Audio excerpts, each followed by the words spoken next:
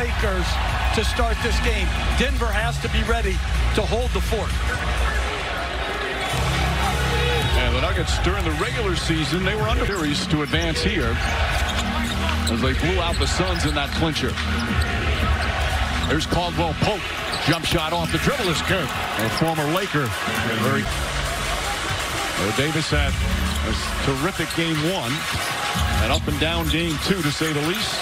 Russell trying to get on track. That one down, and that is a. Rotating early to Davis.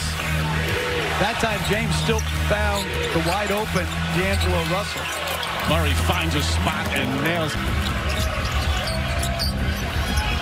Murray, a good look. And Murray starts off two for two. But the transition defense isn't even a hard push. You got to be able to get back, get matched, and make them play in the half court. Russell searching, finds Davis. Davis with a nice soft touch on his. Just 4 of 15 from the field, had as many turnovers as field goals. Blocked by Davis. Right back at Jokic. Bad pass stolen by Caldwell Pope. And Murray goes in and lays it up and in. Almost got it back. Murray step back inside the arc. And Murray picking.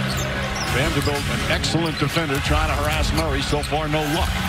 Five for five. They're one of five from downtown. Four for 14 overall. Gordon out to Porter. Porter a three-pointer. Got it. And you make the Lakers. Schroeder also a good defender. Pass inside. Finds its way to Brown. Gordon, a three-pointer. That's good. Gordon knocks it. And leading the break. Gordon goes down low, stops, gathers, and banks it in. Again, another fast break opportunity.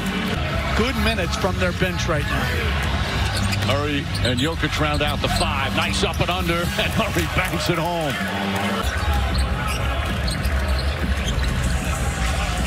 James upset about something as he sends it over to Davis. Three-pointer. That's good. Boy, that's got to feel good. To hit their first six free throws back up to 14. Lonnie Walker, the fourth in the game.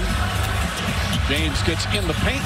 Shot is good, and that's what overpowering the smaller Nuggets. Well-designed play, force feeding LeBron to that spot.